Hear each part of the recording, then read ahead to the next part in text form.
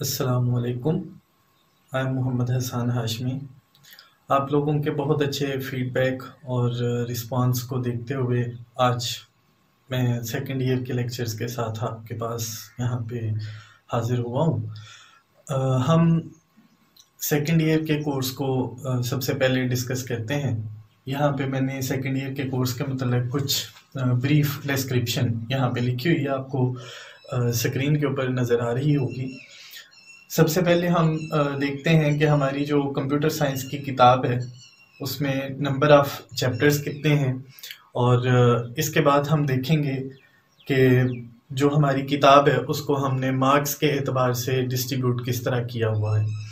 सो so, सबसे पहले अगर हम बात करें नंबर ऑफ़ चैप्टर्स की तो हमारे पास ये किताब दो हिस्सों पे मुश्तमिल है और वो दोनों हिस्से आपको यहाँ स्क्रीन के ऊपर नज़र आ रहे हैं। उनमें से पहला हिस्सा है डेटाबेस का, जिसमें टोटल नंबर ऑफ़ चैप्टर्स हैं सात चैप्टर नंबर वन से लेके चैप्टर नंबर सेवन तक। और दूसरा हिस्सा वो है सी लैंग्वेज का, जिसमें टोटल नंबर ऑफ़ चैप्टर्स हैं सात चैप्टर नंबर एट से लेके चैप्टर नंबर फोर्टीन तक।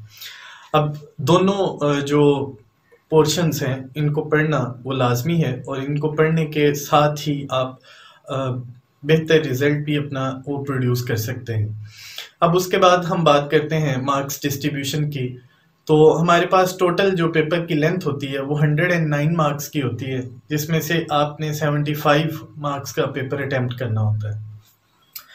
अब उसमें जो एम होते हैं, वो 15 होते हैं और 15 ही एम आपने अटैम्प्ट करने होते हैं देर इज़ नो चॉइस उसके बाद जो मैं इसमें सेपरेशन के तौर पे बता देता हूँ। जो डेटाबेस में एम इंक्लूड होते हैं, वो पाँच और सी लैंग्वेज में दस।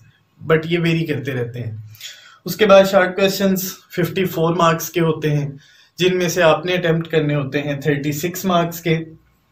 इसमें से डेटाबेस का जो पोर्शन होता है, वो ट्वेल्व मार्क्स का होता है, जबकि सी लैंग्वेज वो ट्वेंटी फोर मार्क्स का पेपर आपने अटेम्प्ट करना होता है। और लॉन्ग क्वेश्चन की अगर हम बात करें तो वो फोर्टी मार्क्स के टोटल पाँच लॉन्ग क्वेश्चन आने होते हैं। दो डेटाबेस में से और तीन सी लैंग्वेज में से। डेटाबेस में से आपने एक लॉन्ग क्वेश्चन अटेम्प्ट करना होता है दो में से और सी में से तीन लॉन्ग क्वेश्चन होते हैं जिनमें से आपने दो को अटेम्प्ट करना होता है। सो so, टोटल आपने ट्वेंटी फोर मार्क्स का पेपर वो अटेम्प्ट करना होता है।